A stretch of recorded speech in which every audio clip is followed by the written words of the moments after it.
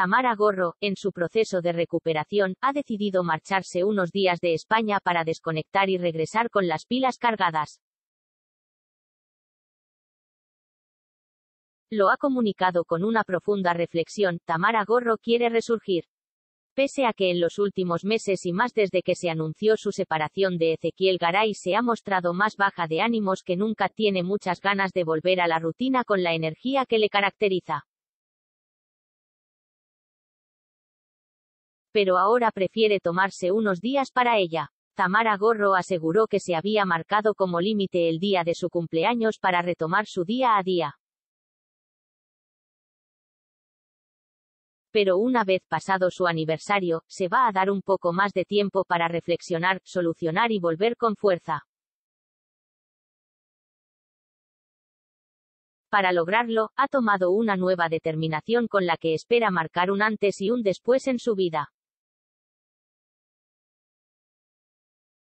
La influencer se marcha por un tiempo fuera de España. Tamara Gorro ha hecho gala de su naturalidad una vez más.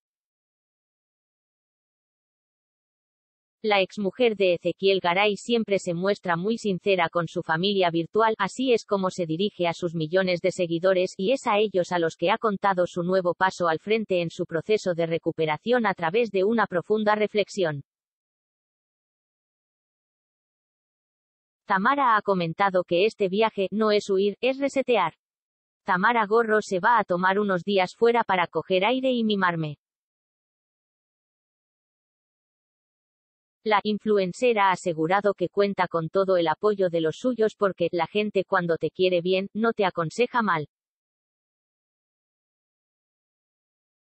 Se preocupa y uno tiene que escuchar. Para Tamara Gorro este viaje va a suponer toda una aventura porque es la primera vez que voy a hacer esto, desconectar del mundo con la intención de volver, con ganas de seguir y de empezar a ser yo.